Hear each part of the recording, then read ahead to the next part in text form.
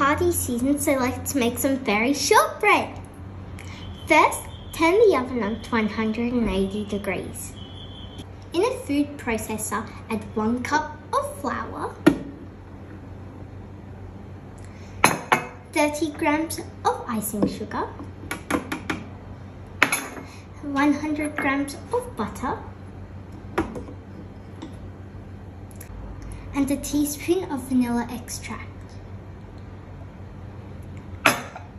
Now process until fine breadcrumbs form.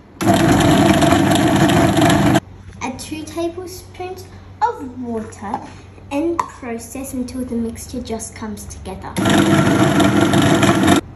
Here we go. Now turn the dough onto a floured surface. Roll out the dough between two sheets of baking paper to 7mm thick rectangle. Then cut into 5cm squares. Cover the dough with the sprinkles of your choice.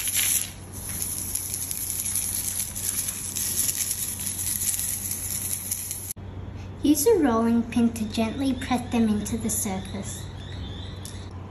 Transfer to a lined baking tray, then put in the oven for 15 minutes or until golden. Well, here we go. That was fun. Now you try my recipe, share your photos, and tag me at What's Sienna Cooking. Don't forget to subscribe to my YouTube channel to not miss any of my new recipes. Bon appetit and see you next time.